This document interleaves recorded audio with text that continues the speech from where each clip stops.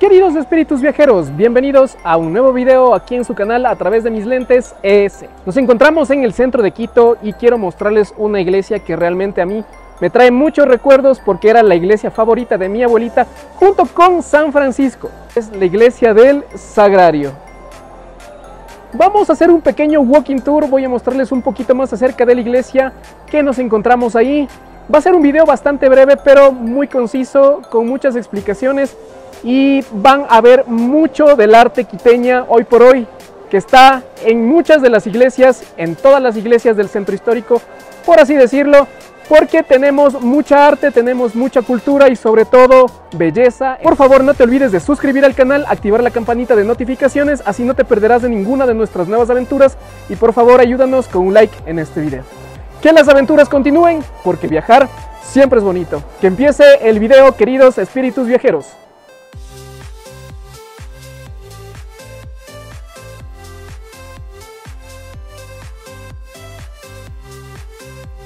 La iglesia del Sagrario es un templo católico de la ciudad de Quito, capital del Ecuador. Está ubicada en el centro histórico de esta urbe, sobre la calle García Moreno, antiguamente conocida como la de las Siete Cruces, a pocos metros de la esquina de la calle Eugenio Espejo. Es parte del conjunto de la Catedral Primada, aunque pareciera más una iglesia independiente que una capilla adjunta tanto por su tamaño como por su importancia en el imaginario y en la conciencia colectiva de la población de Quito.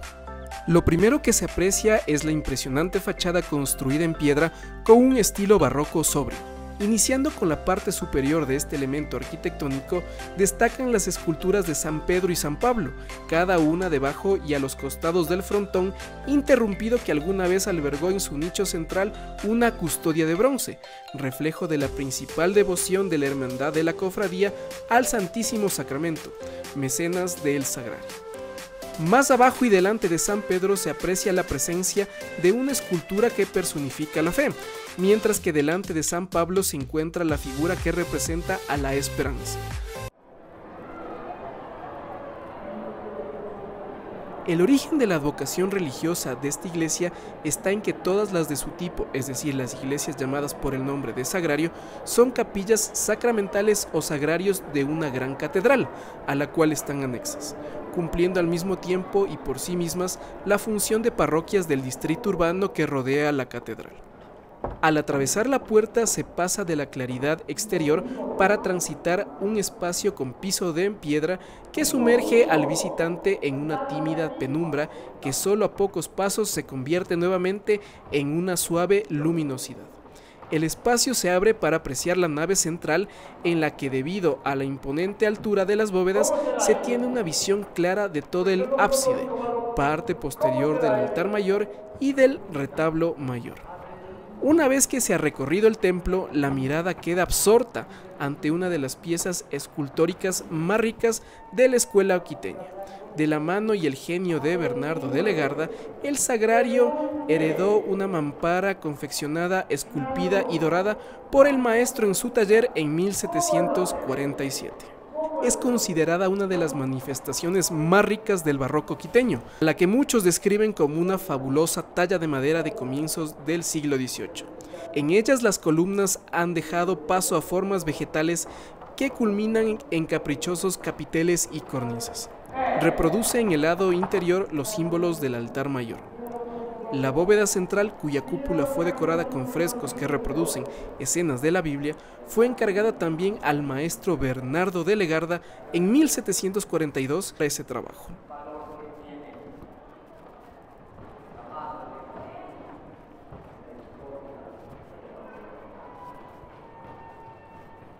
están en una celebración, por lo cual es prohibido hacer turismo, pero vamos a tratar de hacerlo mejor.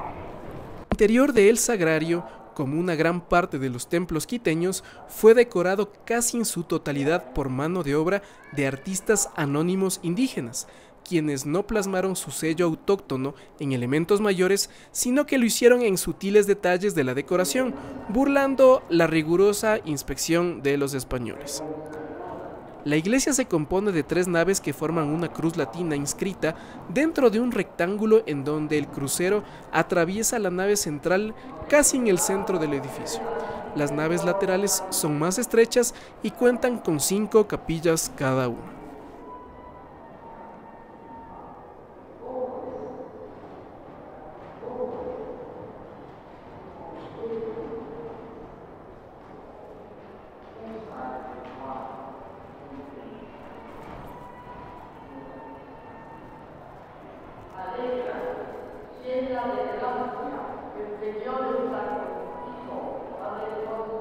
Los retablos, incluidos los del altar mayor, fueron dorados por Cristóbal Gualoto, quien estaba a la cabeza de un equipo de cinco oficiales.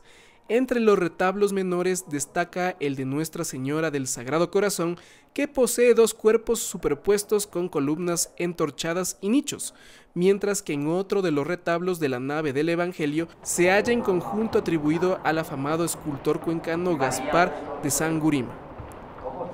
Entre los retablos menores destaca el de Nuestra Señora del Sagrado Corazón, que posee dos cuerpos superpuestos con columnas entorchadas y nichos, mientras que en otro de los retablos de la nave del Evangelio se halla en conjunto atribuido al afamado escultor cuencano Gaspar de Sangurima.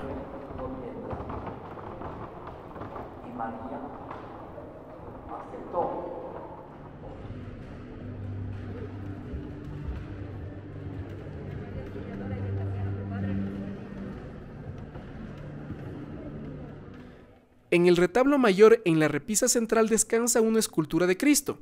Existen otras cuatro repisas que en la actualidad están vacías, pero están reservadas para las esculturas de San Roque, San Antonio, el Arcángel San Miguel y San Francisco de Paula.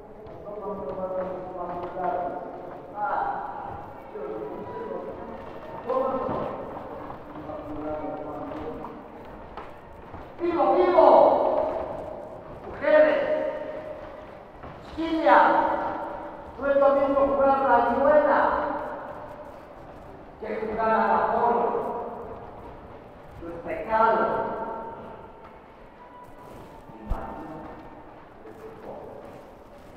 Primero en el corazón y luego en el mano. Entonces, acepte su corazón.